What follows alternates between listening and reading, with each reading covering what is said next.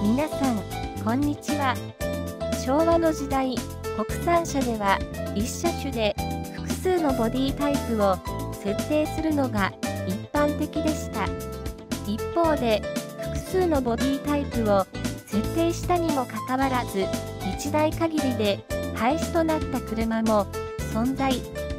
そこで、今回は残念な結果となったボディタイプの車をご紹介します。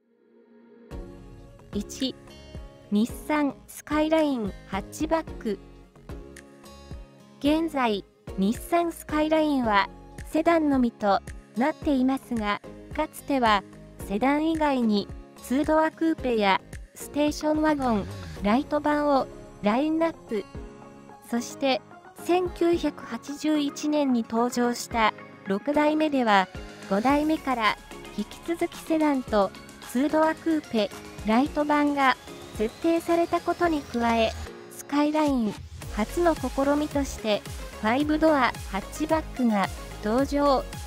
5ドアハッチバックのボディは、リアシート部分まで4ドアセダンとドアも共通でしたが、トランク部分がルーフエンドからテールエンドに向かって傾斜するハッチバックとなっており、4ドアセダンの居住性とハッチバックの利便性を併せ持つことが最大の特徴でした。しかし、スカイラインのイメージとは異なったためか、販売は低迷。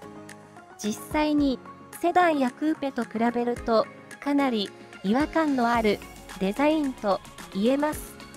当時の国内市場では5ドアハッチバックは売れないというジンクスがあり、まさにスカイライン。ハッチバックはそのジンクスを証明したことになります。1985年に発売された7代目スカイラインでは5ドアハッチバックが廃止されステーションワゴンが復活し8代目からはセダンと2ドアクーペだけに整理されました。2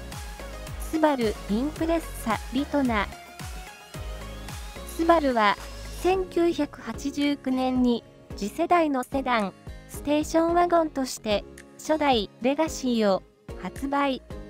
そしてさらにラインナップ拡大を図り、1992年にはレガシーよりもコンパクトなモデルのインプレッサが誕生。発売当初はフォードアセダンとステーションワゴンの2つのボディタイプで展開し、高性能グレードの WRX が設定され、話題となり、ヒット作となります。そして、1995年に新たなラインナップとして、2ドアクーペのインプレッサリトナを発売。インプレッサの2ドアクーペは、もともと海外専用モデルとして販売されていましたが、ラインナップ拡充のため、日本でも展開されました。しかし、すでに2ドアクーペのニーズは減少傾向にあったことと、インプレッサは高性能なセダンとステーションワゴンというイメージが定着していたためか、販売は低迷。1996年のマイナーチェンジでリトナは廃止されてしまいますが、代わりにリトナをベースとした高性能モデルの WRX タイプ R STI が登場しました。3スズキ SX4 セダン現在、スズキのラインナップの中で登録者の SUV はジムニーシエラを筆頭にクロスビー、エスクード、そして SX4S クロスがあります。この SX4S クロスは2代目で、初代は2006年に SX4 の社名で発売されました。SX4 は欧州や北米でも販売するグローバルカーとして開発されたショートワゴンタイプの SUV です。この SX4 をベースに派生車として2007年に SX4 セダンを発売。SUV をベースとしたセダンを販売する事例は非常に珍しいですが、SX4 の欧州テイストのデザインを生かしたセダンに仕立てられていました。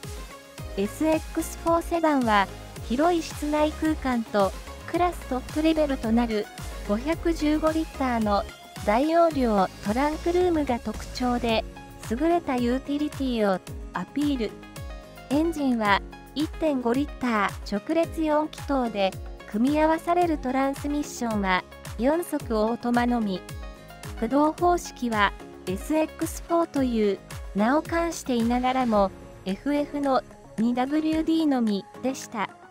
販売期間は比較的長く2014年まで販売されましたが次世代の SX4S クロスではセダンが設定されず1台限りで消滅してしまいました。いかがでしたか？何かのお役に立てれば幸いです。ご視聴ありがとうございます。よろしければチャンネル登録をお願いします。